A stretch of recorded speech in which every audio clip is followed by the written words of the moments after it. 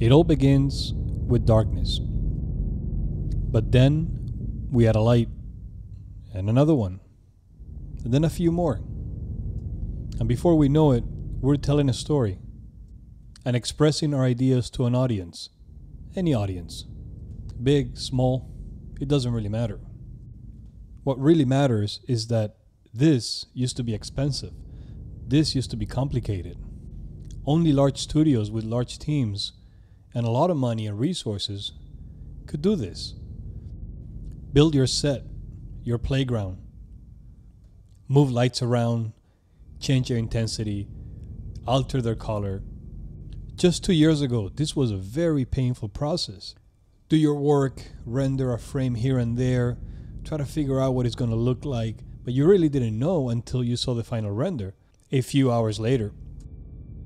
Grab the camera, move it around, see if this is the shot that you want. I thought I wanted a shot behind her. I thought that would be great, but you know what? I think it's better if I go to the side, maybe get a profile shot. And then push it even farther back so that I can get a nice foreground piece in there.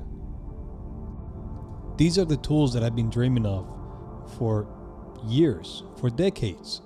It all becomes a process of discovery. It's all about creativity and the art.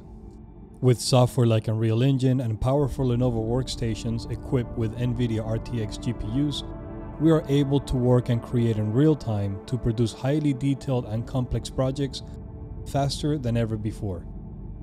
So while larger studios are trying to figure out how to fit this new way of working into their pipeline, you have a growing community of small studios and artists who are single handedly creating work that in many cases rivals those large studios. And this is our attempt to do just that.